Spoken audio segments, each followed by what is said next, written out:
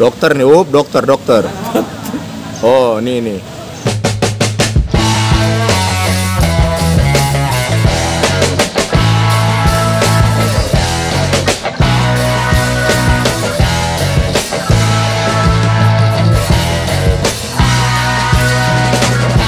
Udah habis latihan ini gimana coach? Oke, baik terima kasih ya. Yang pertama, ya alhamdulillah kondisi anak-anak seluruh penggawa PSMS dalam kondisi fit ya.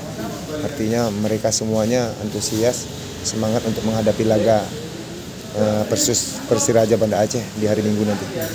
Apa persiapan strategi taktik sudah digelar ya coach? Ya, sudah kita siapkan selama satu minggu ini sudah kita siapkan untuk menuju partai di hari Minggu. Kira-kira optimisme kita kayak mana? Ya kita harus optimis ya. Kita yakin dengan skuad kita, dengan kemampuan kita. Apalagi nanti akan ditambah oleh dukungan daripada supporter uh, supporter PSMS Medan. Siap. Eh tadi si